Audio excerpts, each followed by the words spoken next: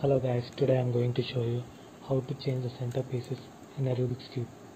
But before that, if you are not yet subscribed my channel, please subscribe and press the bell icon for latest notifications.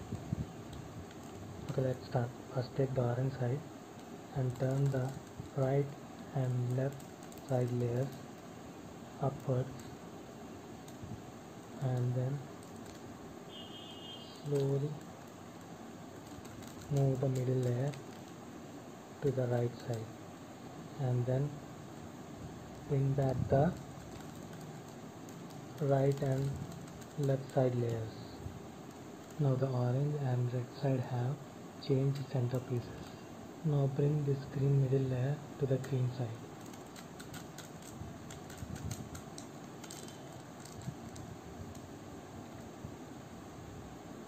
Now see all the center pieces of the Rubik's Cube are changed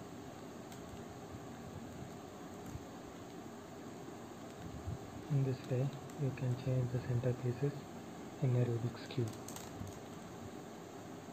If you are enjoying the video please like share and please subscribe. Now let's bring the Rubik's Cube to its normal position. Now let's match the centerpiece with its surroundings. Here the yellow is not matching with the surroundings. Here also it is not matching. Here the yellow piece is matching but the red piece is not matching with its surroundings.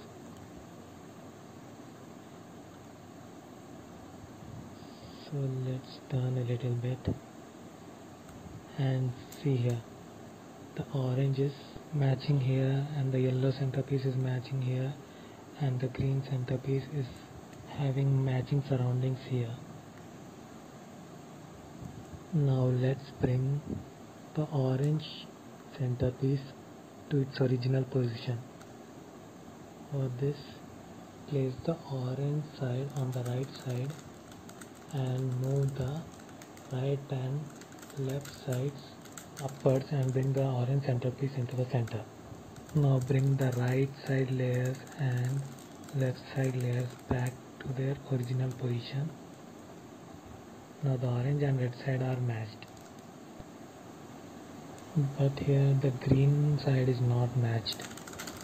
So just move the middle layer to the green side. Now the entire Rubik's Cube is in its original position. Thanks for watching and please like, share and subscribe.